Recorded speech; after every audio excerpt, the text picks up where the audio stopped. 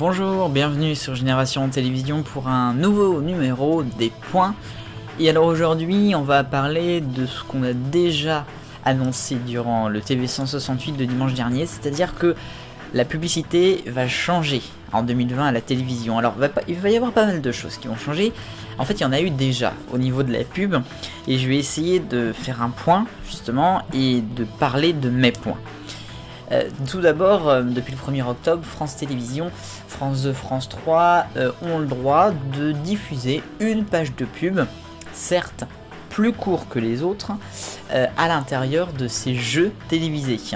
je cite notamment Tout le monde a son mot à dire sur France 2, il y a Tout le monde veut prendre sa place également sur France 2, sur France 3 on a Question pour un champion, je sais pas s'il y a sur les autres jeux d'avant, euh, je suis pas certain.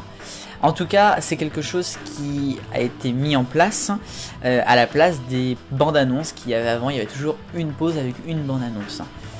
Bref, ça c'est quelque chose déjà que, à la rigueur, je suis pas forcément mécontent de ça. Je suis juste, je trouve ça juste en fait euh, pas la bonne idée. Hein. je pense qu'il faudra remettre tout simplement la pub après 20h. Bon.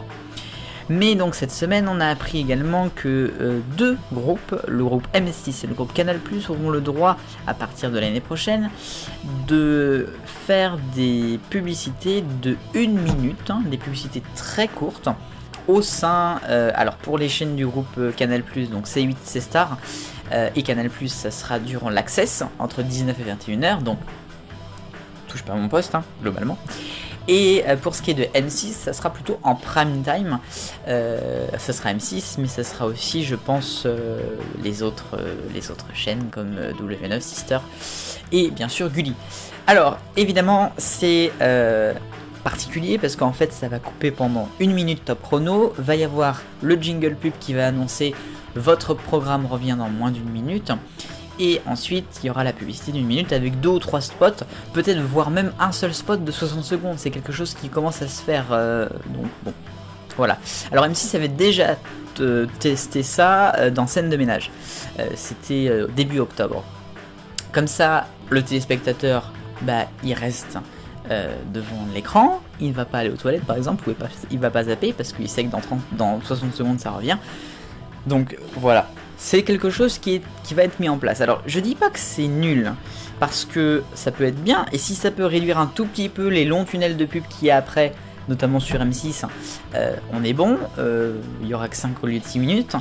Euh, mais, mais en fait, le problème, c'est que si ça fait capoute comme France Télévisions, la pub après 20h en 2009, c'est-à-dire que ça dure 6 mois, 1 an, et puis qu'après, le 1 minute de pub se transforme en 2, en 3, ou je ne sais pas quoi, voilà, ça va être, euh, ça va être mal.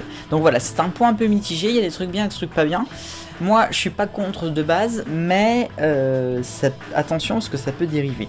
Et puis surtout, euh, je suis pas certain que c'était utile de faire ça maintenant.